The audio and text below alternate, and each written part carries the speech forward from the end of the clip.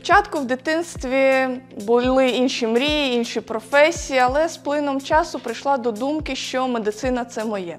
Не розуміла точно, яку спеціалізацію вибрати, але пішла в університет, провчилася 5 років і зрозуміла, що напевно реабілітація і все, що пов'язане з відновленням людей, це дуже важливо буде.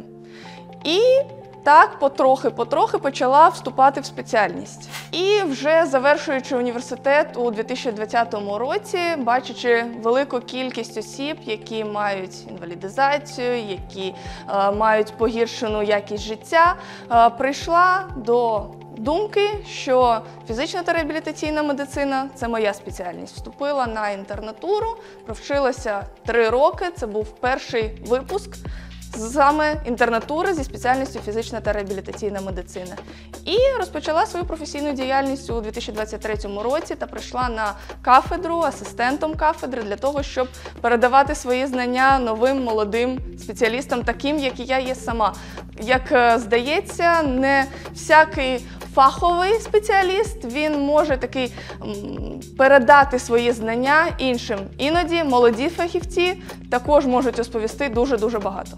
Вже зараз, коли працюю, працюю багато, працюю з пацієнтами, яким надається повна реабілітаційна допомога. Бачу, як вони відновлюються, і вони навпаки додають тобі сили для того, щоб продовжувати працювати. Вони в тебе їх не забирають, в тебе йде як обмін такою енергією. Бо коли ти бачиш людину, яка спочатку не могла навіть сидіти елементарно, а потім ти готуєш пацієнта до виписки, і він на своїх ногах вже виходить з відділення. Це додає сил працювати.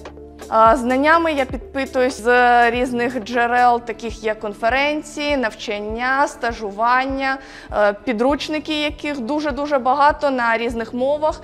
І наш сучасний світ дає можливість як перекладати, так і читати в оригіналі.